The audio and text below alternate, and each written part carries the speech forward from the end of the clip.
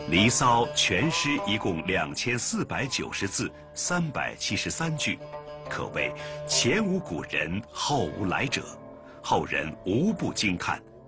屈原为什么要写如此长的一首诗？又是什么力量支撑屈原写下如此激情四射的长篇巨制？如果说屈原的作品有一个特定的阅读对象哈，这个对象就是楚王。屈原写《离骚》、写《天问》，他目的是就是要对楚王说：“你必须在我这说的，在我说的这么去做，因为我们有什么有什么。”但是他要关心民，那取要对民民保护到民，他必须要取得权利，取得权利，权利从哪来？从王那来的，所以他必须要去让王听他的。所以我们看屈原的很多呃诗章，谈历史，大段大段的谈历史，而且呢。里头的内容非常丰富，天地万象啊，进上天下地，哎，这些呢都是要用动用各种资源，啊，动用各种理由来打动君王。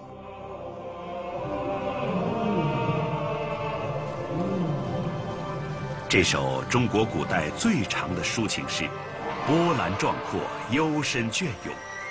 涵盖历史、地理、神话方方面面。如果用竹简书写，《离骚》需要大约二百片竹简才能书写完毕。两千多年来，这个记录再也没有人能超越过。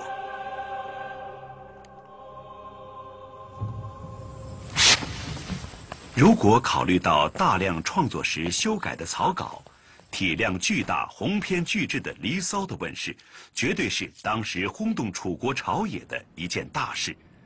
这注定传到楚国宫廷和权贵手上。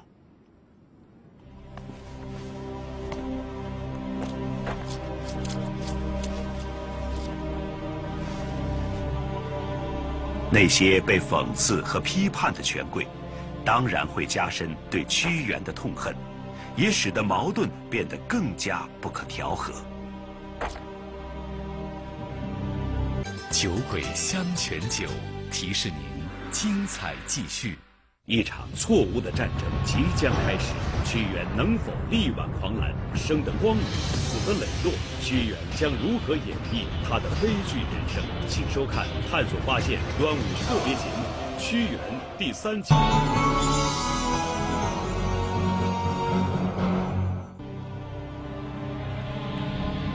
在这种情势下，楚王的态度就成为决定屈原政治生涯的关键。自青年时代开始，屈原就和楚怀王一起在兰台议论国事，在楚宫共商大计。屈原相信，总有一天楚怀王会幡然醒悟，重新回到让楚国强大的正确道路上。但屈原的悲剧在于。楚怀王并不具备一个大国明君的眼光和气度。就历史上统治者吧，有很多这样的统治者，就是他有这样那样的才能，但是他恰恰没有政治才能，他分不清谁是忠臣谁是奸臣。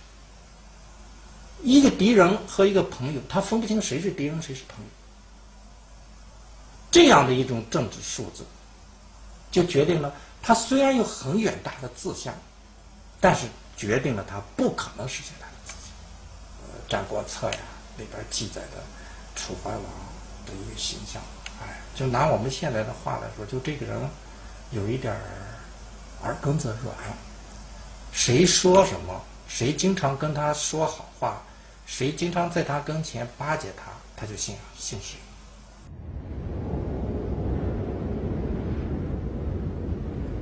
在一个大变局的时代，一个成功的政治家在改变社会之前，首先要改变自己和社会的交往方式，而这恰恰是屈原政治禀赋中的一个死穴。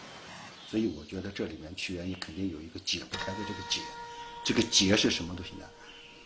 我们一般来说是这个说世界潮流是吧？这个顺者昌，逆者亡。但是从另外一个角度来说，屈原是和自己的理想同在。他求索他那个漫漫的那个人生道路，所以路漫漫其修远兮，吾向上下而求索。屈原就是历史上最典型的一个不懂得变通，这样不懂得运用那个时代的那种风气来实现自己目的的这样一个人。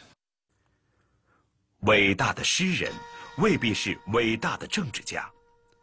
屈原的诗人情怀使他不屑于奴颜媚骨，也不会曲意逢迎，这必然使他既失去同僚的支持，也失去君王的欢心。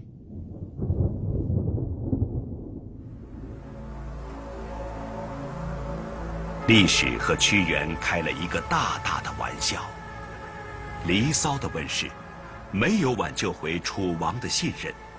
却将作为一个政治家的屈原推向彻底边缘化的命运。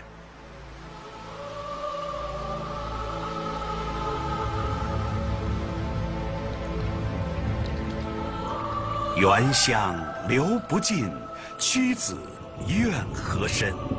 日暮秋风起，萧萧枫树林。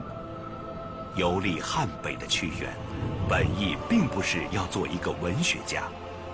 作为一个肩负家国使命和家族荣耀的贵族，他依然在期盼楚王的回心转意，再度改变楚国江河日下的命运。